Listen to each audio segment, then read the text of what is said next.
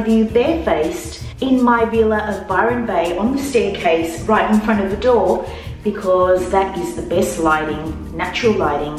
I wanted to show you guys my summer holiday makeup routine. It is so simple. A lot of you guys ask me about my makeup routine and if I can do a tutorial. I'm not really great at doing makeup tutorials, but because I'm on holidays, I thought, why not? Why not just do a little Byron Bay get ready with me? So I am going to begin with moisturizer. Now this moisturizer contains an SPF 50 I think. It's called Hawaiian Tropic Silk Hydration Face Moisturization.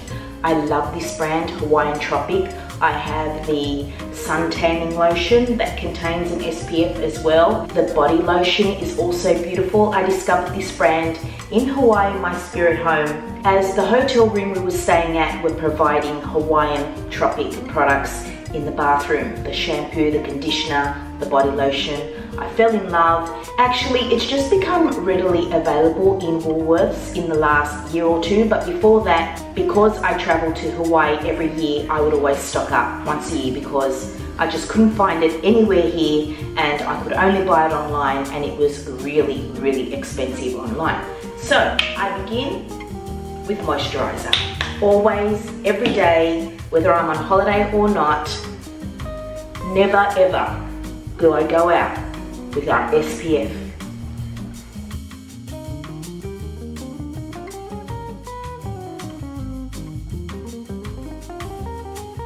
Never do I ever wear foundation when I'm on holidays. It's just my moisturizer and then a little bit of concealer under my eyes and anywhere else I have redness or darkness and that's usually around my nose and around my mouth. And the one I've been using lately and for a long time is the Maybelline Age Rewind Concealer. My shade is medium.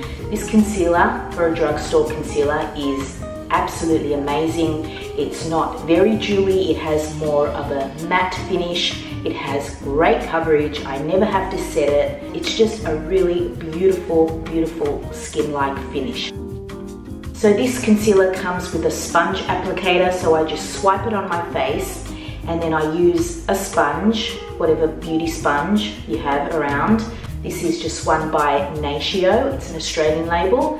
And it's okay, it's not, you know, the greatest, like the Beauty Blender that costs like 30 bucks. This I think costs about six bucks, but it does the trick, you know? I have better things to spend $30 on. Alright, so I just blend it in with the sponge.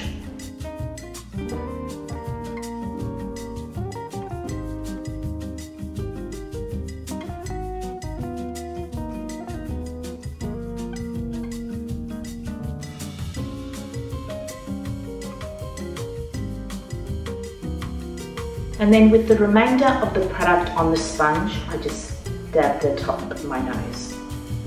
Sometimes I do like to wear a little bit of foundation when I'm at work, but even that is a rare occurrence. But when I do wear foundation at work or when I'm filming, I dab a little bit on my cheeks and around my mouth, corners of my nose, and that's it. I don't put foundation anywhere else. Next thing I do is warm up my face with a little bit of bronzer. This is a cream bronzer and it is by Wet n Wild.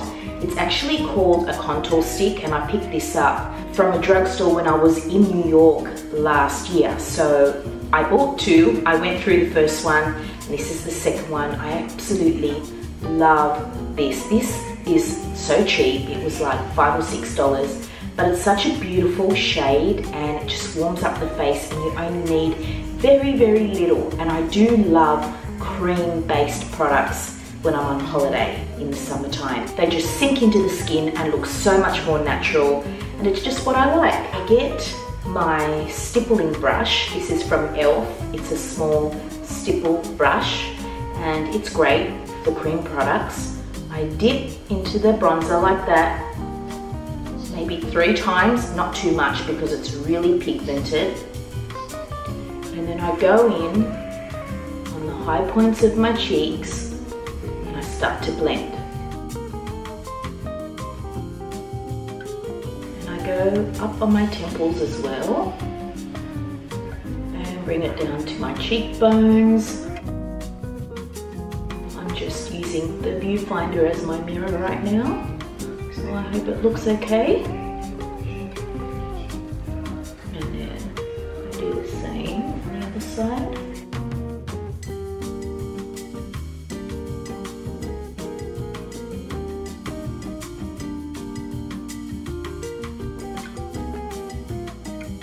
And then a little more on my forehead. Not too much. You can always build it up. And if you go overboard, then it's harder to correct. And then I use a tiny little bit on the sides of my nose.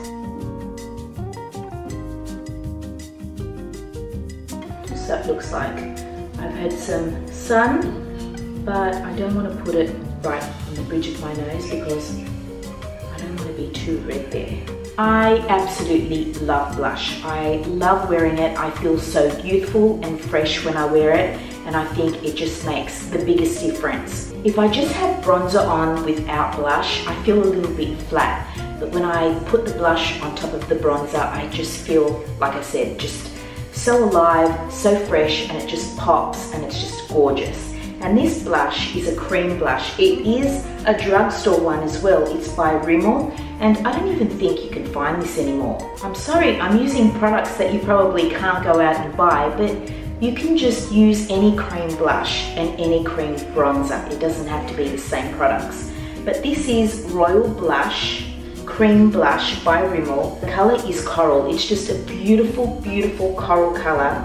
And it looks like that. It is just gorgeous. I love it. And I just smile and go in the apples of my cheeks with the stippling brush in a stippling motion, just like that.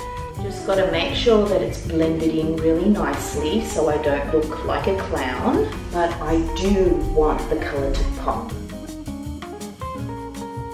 Now I want to have a good amount of blush on there because this is such a natural looking one and because I'm on holiday and it's a coral color, I think it's just gorgeous. Then I put a little bit on my nose, just like that. So cute and so natural. I love it. Okay, that's pretty much all I do for the base. Now, for the eyes, all I do is swipe on a little bit of blush or a little bit of bronzer in the crease. That is all I do. Maybe I'll just put a little bit of blush because I love this coral color. So cute. So just dab a little bit more into the pan using the same brush. You know, I'm never too like perfect with my makeup and you know, everything has to be perfect. I don't like perfect. I like effortless and natural. That's what I like. I don't want, you know, to see foundation and perfection and sculptured brows and eyes and just too much. I like an undone natural look. So I'm never really too, know, fussy with my makeup. It's just a nice wash of color. And then just underneath my eyes, I'll just put whatever's left on the brush, smudged under my eyes with the same brush. Just to give it a real soft, soft look. Try and get it on the edge there. And then just look up brush.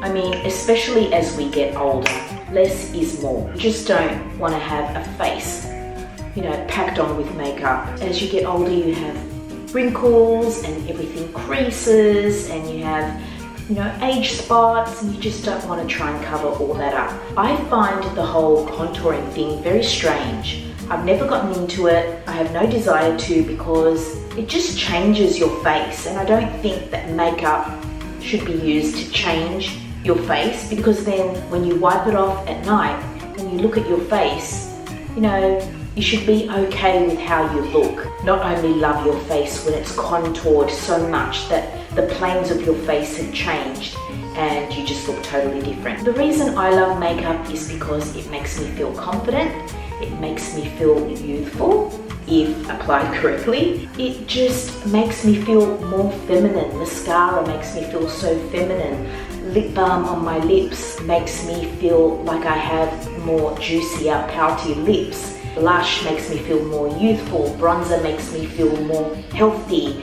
and alive. Eyeliner makes my eyes pop. That's the kind of attitude I have with makeup. I don't want makeup to change the way I look or to cover up my face. I want my makeup always to look really effortless and natural and I want people to see me, not the makeup. That's kind of how I've always been with makeup. All right, next up, what are we gonna do? The eyes. Okay, I have been loving, absolutely loving this eye pencil by Estee Lauder. The shade is Burgundy Suede and it is the most beautiful shade. It's got hints of red, burgundy, copper. It's just absolutely gorgeous. And what I like to do is apply it on my eyelid near my lash line.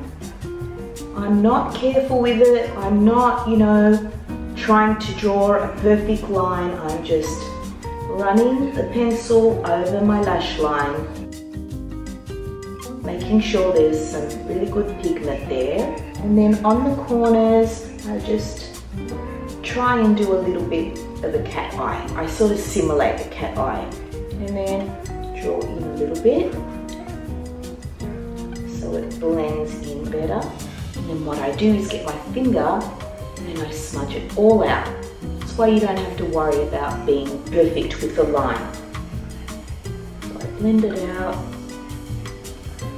And just on the corners, I use my finger to just sort of create a little bit of a sharper line, but not a real perfect cat eye, you know, just so that it's lifted and you can see that it's given the eye shape and it's a bit smoky, there's something there, it's not perfect, bit smudged.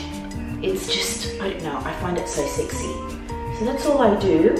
I'll do it on the other eye as well.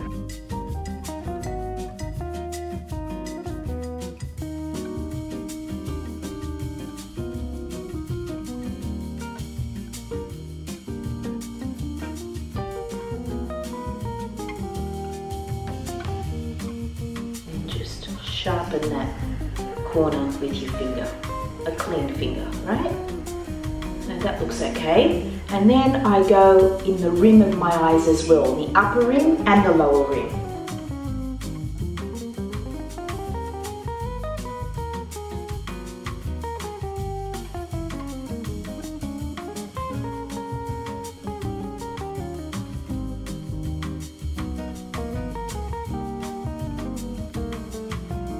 And then what I'll also do is just go outer corner of the eye and just put a little bit of the pencil there and then just smudge it out.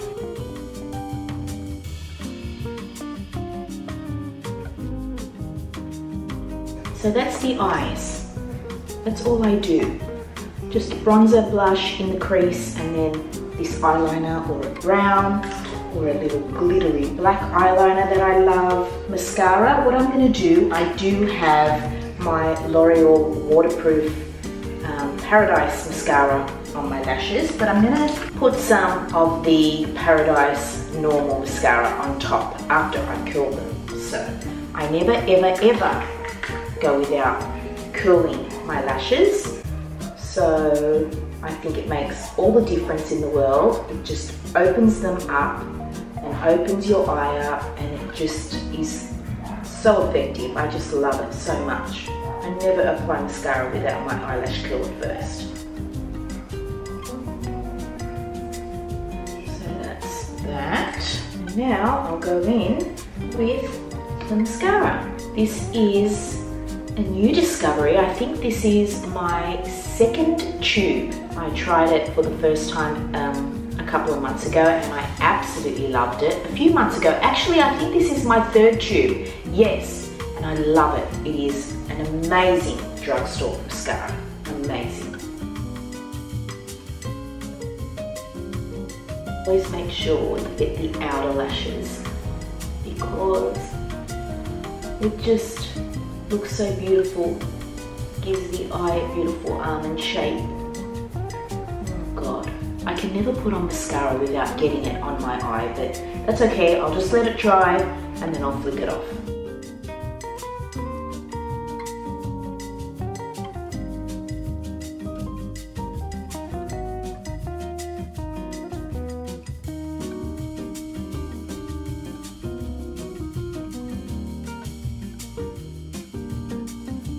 Okay, drinking a cup of tea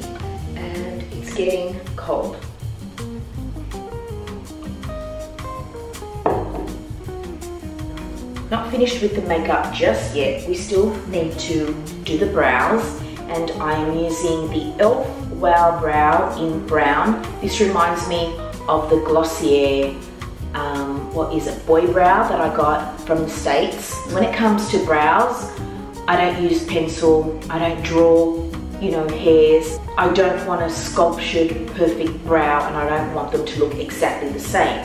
Brows are not symmetrical, our face is not symmetrical, so I just want something that I can, you know, give more fibers to my brows, so make them look thicker and something that'll keep them in place. That is all I want from a brow product and this is perfect. This is a really great dupe for that Glossier Boy Brow. So, oh, I need a mirror for this. Where's my mirror? Okay. So I just run it through my brows and it is the simplest thing, just like that.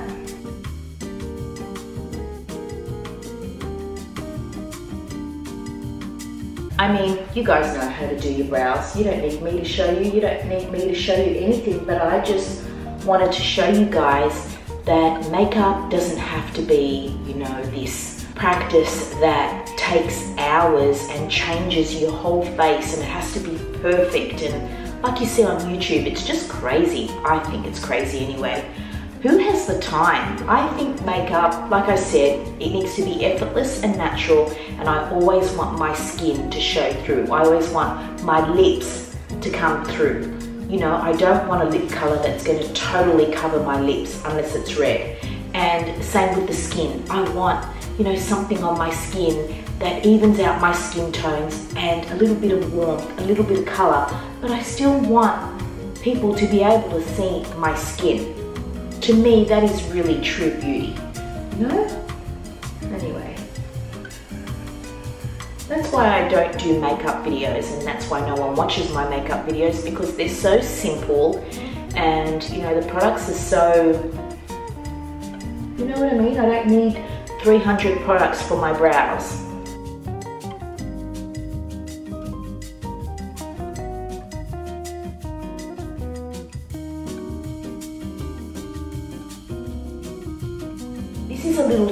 When my mascara is dry or dry but still tacky, what I do is I get my fingers and I press my lashes up like that.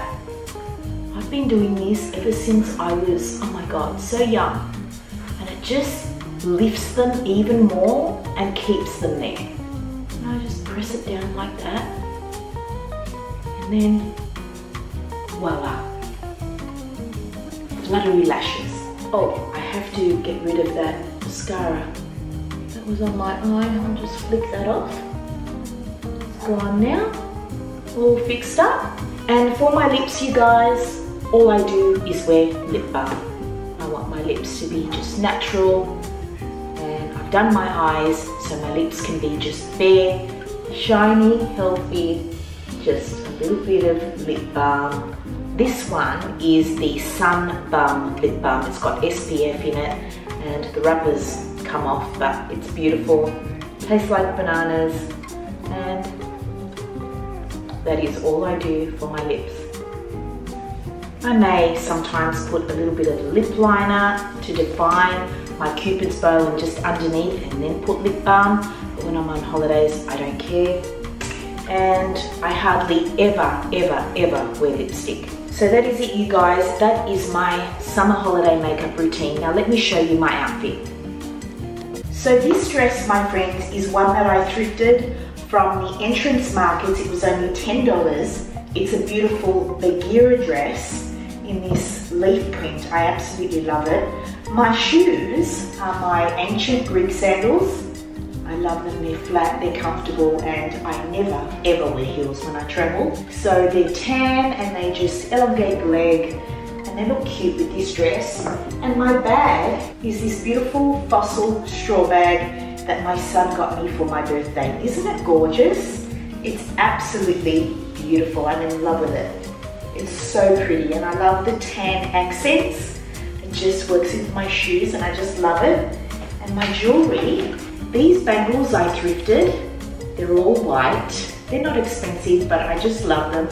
This necklace is by Gorjana. She's an American jewelry designer that I love and I always pick up her stuff from her store when I travel overseas. This is just my gold bangle that I always have on.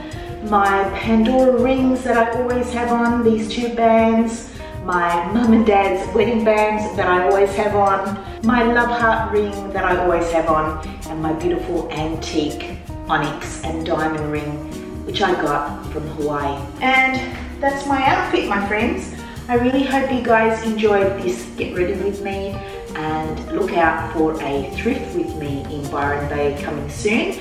And I really hope I see you guys in my next one.